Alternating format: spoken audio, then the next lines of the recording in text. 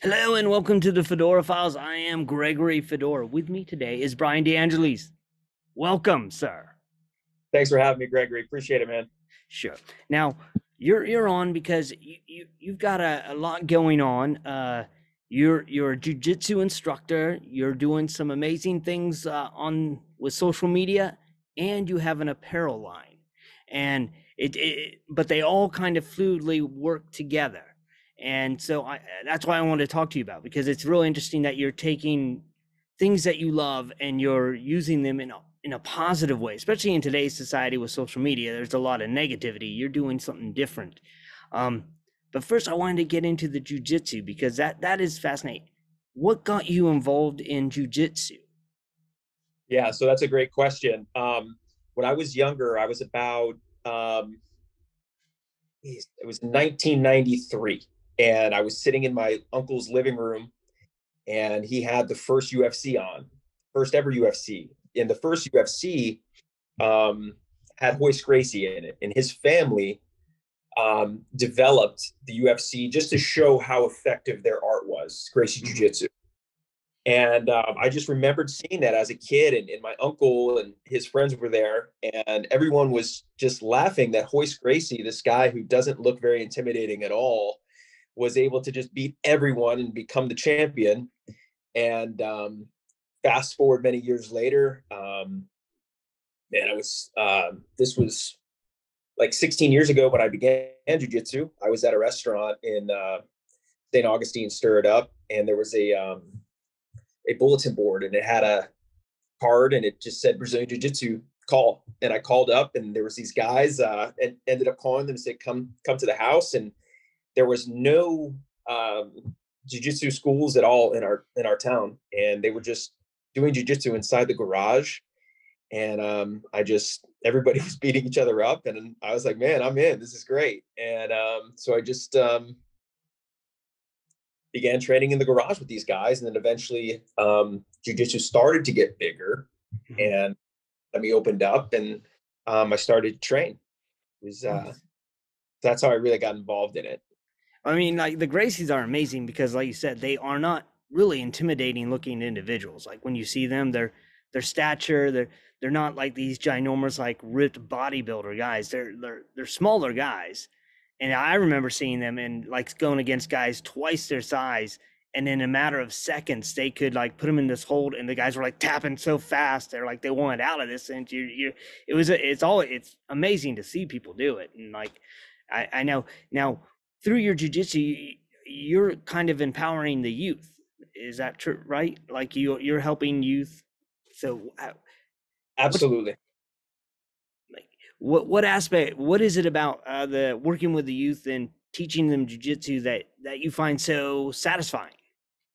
Yeah. So obviously, um, you know, growing up, there's always going to be bullies and stuff. So that mm-hmm. definitely, man, getting to see um, and have an opportunity to have a hand in in building kids' self confidence through jujitsu is is pretty amazing to have that opportunity. So I'm very grateful to um, be able to um, teach kids to have the confidence to um, confront someone that is uh, bullying um, bullying them because if they don't have the jujitsu, the actual physical techniques of jujitsu, they're not very confident to verbally say something to someone to get them to, to leave them alone or something like that.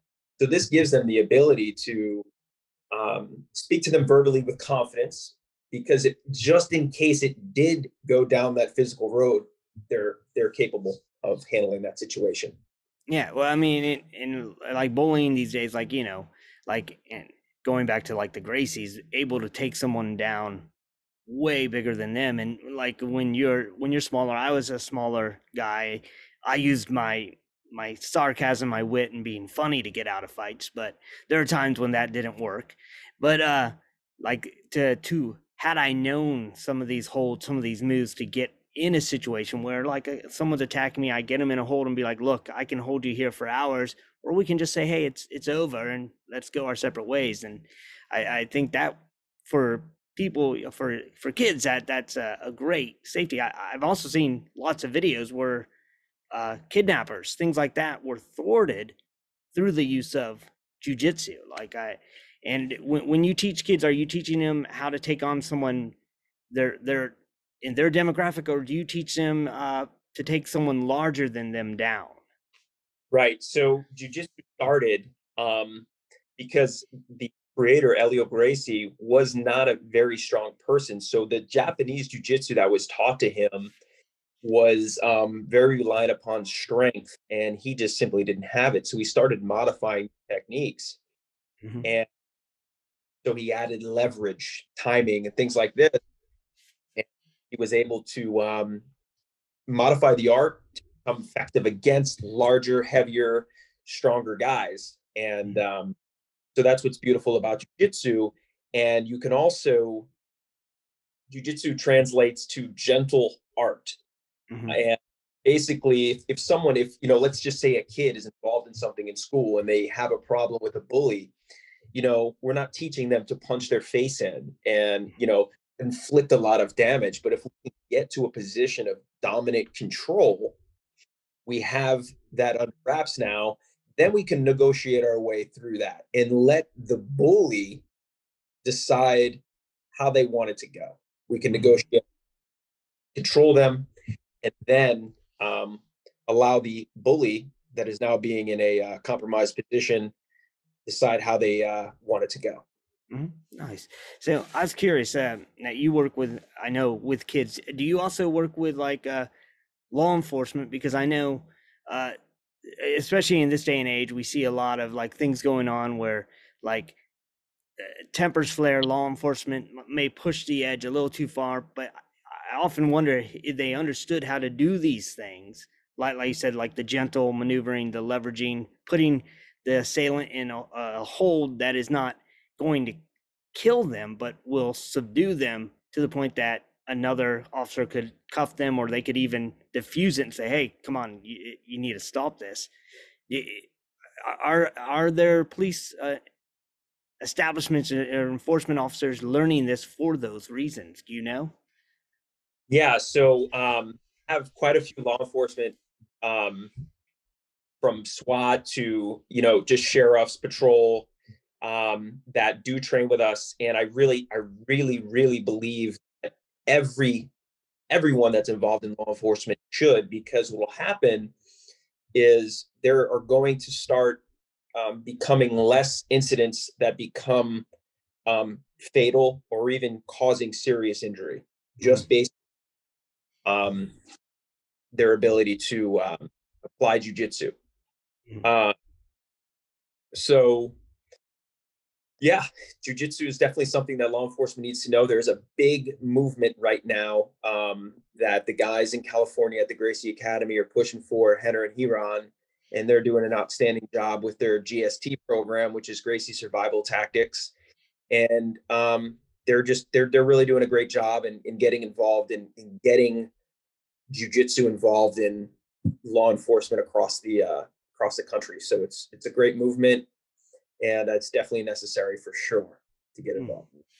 Now, uh, when now, one one thing I know about you, you're a very positive individual, and uh, like I follow you on Instagram, and uh, I've noticed you are shifting. Like you you, you post about you know jujitsu and stuff, but you, you're trying to do more. And I don't want to spoil what it is. I want you to explain what your goal is. You, you you're taking like I in my from what I watch, eh, you're taking your your values you've learned through jujitsu and you're putting them out there in a different way through Instagram. And can you kind of go into what what is your what are you trying to do?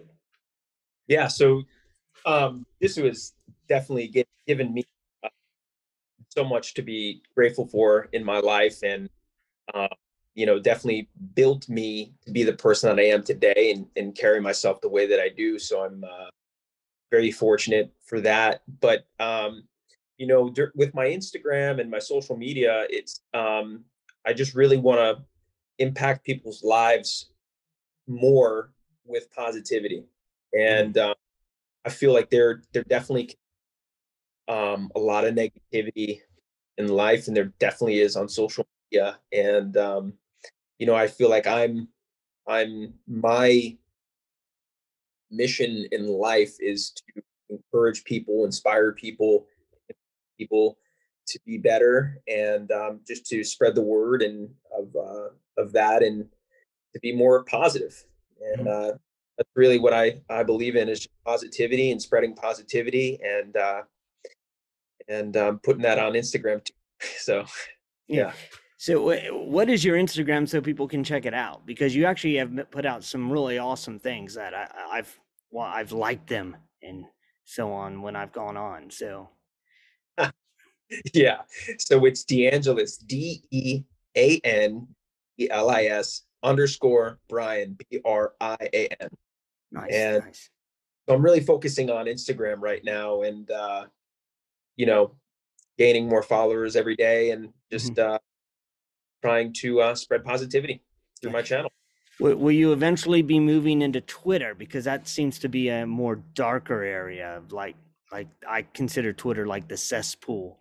Like you know, you have you have Instagram, then Facebook, and then you got Twitter's like like the sludge going underneath social media. Like it's it's a dirty area. They a lot of anger in there. You know what? I don't know. I know what Twitter is, but I don't know like the ins and outs of Twitter at all. I've never messed with it before, but maybe I should go over there and shake things up a little yeah, bit. Bring some light to it. It's like it really is. It's uh, it's amazing. I've posted things that were I didn't think there was anything controversial on it, and somehow someone took something I said about Bigfoot and it turned into some craziness, and I was like, I don't know what word. I don't even know what to say. So I usually don't say anything. I walk away, which is right. hard for me to do. But uh when I first started getting into um, Instagram, which isn't too long ago, because mm-hmm. uh, I Facebook, and when I started getting on Instagram, there is just I'm really really impressed with Instagram and the quality of content on there, mm-hmm. and the amount of uh, motivation and inspiration and, and positivity going on is is really impressive, and uh, I really like it a lot. And just glad that uh, I get to put my content on there as well and contribute to positivity there. So I was, I was curious now. Now this can go. You can answer in one both. I like through jujitsu and through Instagram. What is something you've experienced that you were are kind of surprised that you you got to experience and and you can attribute it to your being in jujitsu and also or through Instagram that you've had an experience that you're like, wow, this is pretty cool that I'm seeing this and and if I hadn't done these two things, I would have not seen it. And they don't have to be together, but they could be separate. So you maybe you have two things you you're thinking of. You mean as far as posting content? Well, like possibly like through Instagram, maybe you posted something and got a message back or or feedback back that you were really surprised about in a in a positive way. And same with jujitsu. Was there an experience through jujitsu that when you got done with it, you were like, "This is wow! I can't believe I I'm experiencing this or I've I've been a part of this. Right. Yeah, absolutely. Um, just actually last night I got a message from someone and I was posting like I post some jujitsu things and um, classes and several pictures of jujitsu. And someone I had a video. I only posted one video of mm-hmm. jujitsu, me just doing a little sparring for like maybe 20 seconds or something like that. It was an Instagram reel someone said, you know, man, I'd really like to uh, to see more of that. And um, so that was pretty cool feedback. I, I don't, I'm pretty sure I'm on the same page as your question, but maybe not. Mm-hmm. But uh, I definitely got some uh, positive feedback from um, someone that wanted to see more content of me barring and kind of in in action. Mm-hmm. Um, so um, that was pretty cool. I was happy yeah. to see that it's doing something you love to do. So it's like whenever you do something you love and people respond positively that that's that's awesome.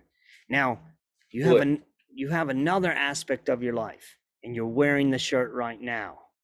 And it, it's a continuation of who you are like through jiu-jitsu through instagram and now this apparel line and it's the eight virtues apparel. So yeah.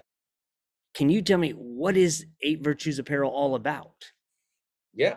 So um, when I decided that I wanted to do some some clothing to kind of be a representation of um, you know the positivity that I wanted to put out into the world and um, sort of my uh, the morals that I have and things like that, I decided, okay, I'm going to do some clothing. And uh, when I was searching for the name, because jujitsu originated in Japan, and um, so I began to uh, search for names, and I was like, well, man, well, the samurais of Japan had a the uh, code, the Bushido code, mm-hmm. and in they had eight virtues that they they followed inside their their code. And um, so I was like, man, that's a great name. So that and um, and so I made that the, the name of the apparel. So now will will the uh, the apparel be aligning up with the eight virtues of the code, or like? Uh, might um, touch on them. So the eight are courage, honor, honesty. Man, I I can't mess these up, Gregory. Courage, honesty, loyalty, mm-hmm. rectitude, benevolence, and politeness. So those are the the um, the eight virtues.